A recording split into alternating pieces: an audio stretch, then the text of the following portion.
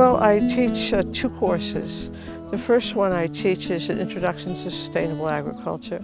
And this, that's usually in the fall. And the second one I teach is organic gardening and food production. Wow, this good cucumber. I teach them that if they can make a garden here, they can make a garden anywhere.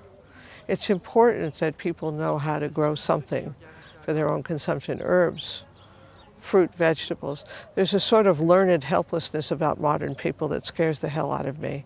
We have sunflowers, we have cucumbers, we have um, corn, um, different kinds of uh, herbs, lettuces. Uh, we also have uh, bean stalks, right? You can't use what's here to grow a garden. That's, that's glaringly obvious. It's all rocks and clay. So what we did was we piled on top of it sand, manure, and uh, compost. Piled it up in berms and now we're growing in it. And of course the soil stays alive.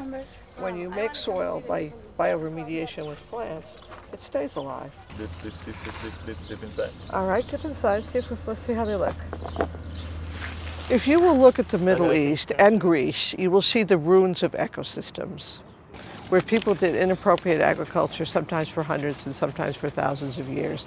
The best way to restore fertility to soil is by putting in tree crops, because then we can actually get something for our efforts that we can use while rebuilding the soil. These are argania nuts. This is a tree that lives in one of the most desolate areas in the world. Argania needs about 120 millimeters of rainfall and it's very, very uh, powerful engine for redeeming the soil. We have a couple of others and it put leaves down inches, centimeters thick on the ground and when this rots down, instead of sand, we have pockets of soil. So this is a way of not only making a living, but restoring the earth that we're working, planting trees.